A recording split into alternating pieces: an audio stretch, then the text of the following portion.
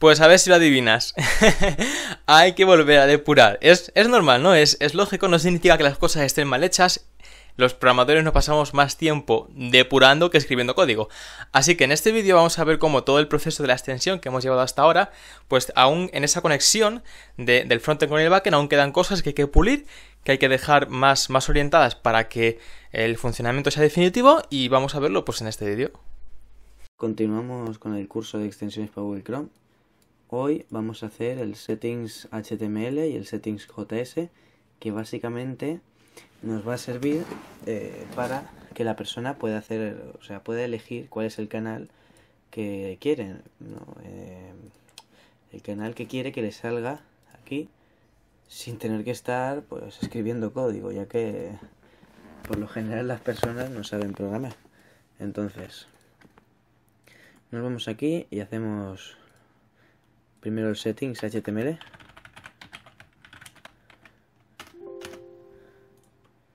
Lo abrimos.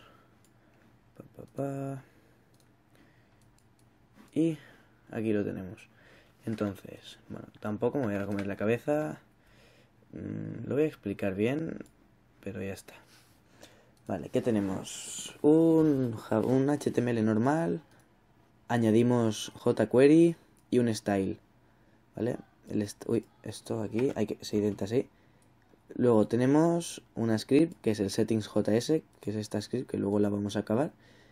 Y el body. El body, como veis, mm, no tiene mucha cosa, solo es un input que le vamos a dar la ID como YouTube link. Le decimos de title. Em, bueno, sería como pone el, pone el, el canal, ¿no? Bueno, eh, pone el link ¿no? del canal o de la web, o sea, bueno, del vídeo básicamente. del canal de YouTube o como lo queráis decir, da igual, o sea, esto lo puse algo por poner, podéis poner lo que queráis, da igual. Y, eh, por ejemplo, le ponemos example, pa, pa, pa, pa, barra user, barra Google, vídeos, no sé qué, placeholder. Le ponemos un placeholder para que la persona vea más o menos cómo se escribe. Y un input de, de tipo button, y que sea un submit. Eh, bueno, es un, submit, perdón. O sea, su ID es submit, ¿vale? Porque será, eh, como vemos aquí en el value, eh, será el botón que nos va a servir para guardar, ¿vale? Y esto, bueno, solamente son los estilos visuales, que aquí no es lo importante, sino lo importante es esto. Entonces, ¿qué tenemos? Lambda o función anónima de JavaScript y tenemos la variable data. ¿No? Una función get saved channel. Cogemos el, el, canal. Eh, bueno, esperar, vamos a hacer una cosa. Creo que ya. Mm, no se ve. ¿Por qué? Mm, ¿Por qué no se ve? Ah, igual porque no lo he guardado, puede ser. No sé, debería debería verse. Es... Mm, mm, a ver... Mm, get videos, pa, pa, pa, settings. Se, supone que está bien, ¿no? Todo. Vamos, no sé. ¿Por qué motivo nos lo abre así? Mm, no sé, a ver. Esto es muy extraño, o sea. No hay código fuente ni nada. A ver, un momento. Voy a hacer una cosa.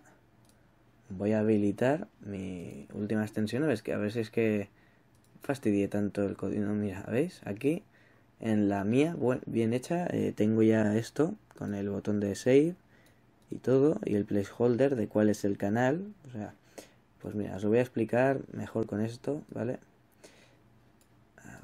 Así y así. Y luego ya vamos a, ahora miraré yo mm, de solucionarlo. Bueno, básicamente, ¿qué es esto?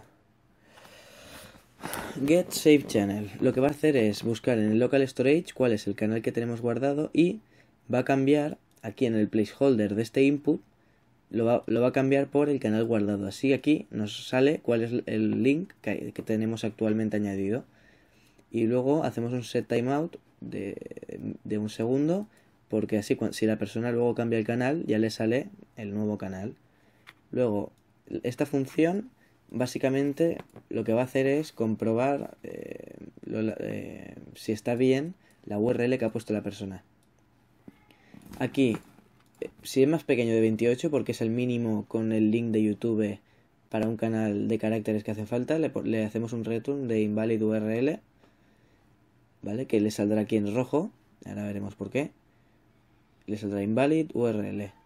Bueno, es más, yo creo que si le doy a la S, ¿ves? Nos sale invalid URL y pues no podemos usarla.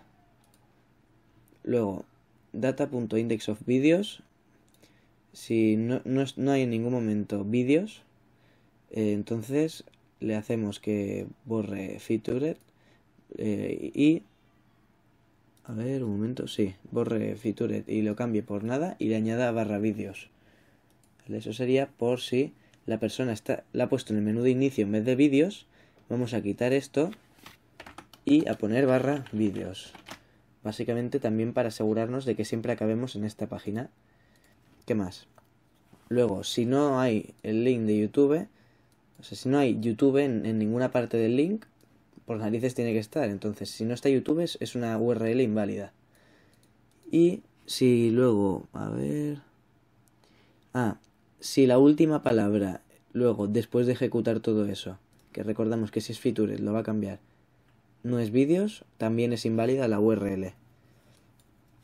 Y aquí hacemos un return true. ¿Vale? Porque... Perdón. El micro. Vale.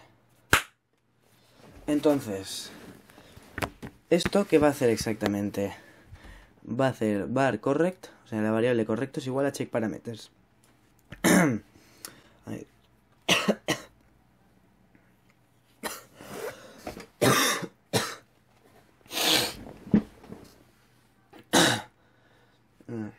Entonces.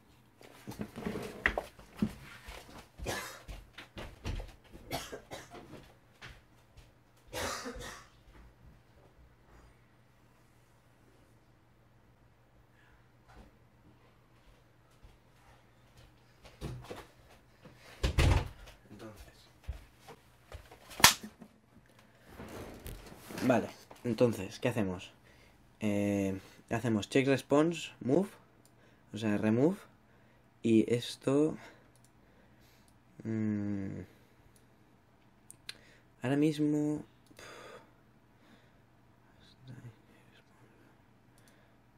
Pues ahora mismo la verdad es que no me acuerdo qué hace. Bueno, continuamos. Luego ya, si averiguo por qué, ya lo diré en otro tutorial. Luego, data es el youtube link.value, bueno, el val, que es el valor y var correct es igual a check parameters data. Como se estaba explicando, mm, si está mal va a retornar invalid URL. Si está bien, como no habrá, no habrá retornado en ningún momento invalid URL, va a retornar true. Entonces hacemos if correct es igual igual a true, que esto es un poco absurdo la verdad, porque podríamos hacer así y sería lo mismo, ahora que lo pienso. Hacemos que guarde eh, la nueva dirección y en el body añada eh, centrado eh, un span con el check response. Ah, vale, sí, es verdad. Esto lo que hace es, em, si por ejemplo esto, si está bien, el check response lo que hace es borrar este spam que es el invalid URL. Vale, ahora me he acordado. Y hacemos, pam, hacemos dos cambios de línea, bueno, tres, y hacemos guardado correctamente y eh, ah bueno y negrita. Y cerramos el span y el center todo bien. Y le hacemos un fade out o sea básicamente mm, se va a ir haciendo transparente poco a poco hasta que desaparezca de 3 segundos y medio. Si no si no es correcto va a ser inválido URL o lo que sea porque podríamos añadir más valores. Lo que va a hacer es añadir en el body lo mismo, pero en color rojo y además usando la variable que nos, o sea, cuál es la variable que nos ha retornado. Si estaba bien era true, pero si está mal, eh, bueno, podríamos hacer varios errores, pero en este caso será invalid URL. Y así básicamente es como hacemos esto.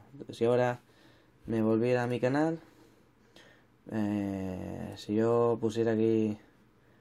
Mm, mm, mm, vale, a ver, por ejemplo, podría poner esto. No, es más, mira, voy a poner esto para probar. No voy a decir, no, no se puede. Lo sentimos mucho, señor, pero no. Pero si pongo, incluso en el inicio, esto, ¿vale? me dice, guardado correctamente, y veis, desaparece poco a poco. Y ahora, si yo viniera aquí, bueno, ahora mismo porque no se ha ejecutado bien, pero debería... Ah, no, sí, aquí sí. ¿Veis? Vuelve a ser mi canal. Ahora, me vuelve el de JJ, claro, es verdad, porque esto es... Recordemos que ahora mismo lo que os estoy enseñando es la mía que ya está acabada. Eh, esta, no sé por qué, da error eh, al abrirse el settings y ahora lo solucionaré yo. Si volvemos al de JJ, ¿veis? También lo podemos coger, en los ajustes, lo ponemos y cuando recarguemos el esto, ¿veis? Ya sale otra vez el de JJ y así con cualquier canal. Yo que sé, podríamos probar cualquier cosa. hola, soy Germán. Pues venga, hola, soy Germán. Hola, Uy, no quiero aquí copyright. Problemas con el copyright. ¿Veis? Si pongo hola, soy Germán, también se guarda y... Uy, ahora, ¿veis? Nos sale hola, soy Germán su último vídeo. Y bueno, pues eso es básicamente lo que hemos conseguido con esta script. Y ahora ya solamente nos falta hacer que, se muestre bien el settings, que eso ya explicaré por qué es en el siguiente vídeo. Ahora voy a intentar averiguar por qué. Y eh, lo más importante, hacer en el background JS que nos envíe una notificación cuando haya un nuevo vídeo que eso va a ser bastante fácil y en el siguiente vídeo os explico cómo hacerlo. Hasta luego.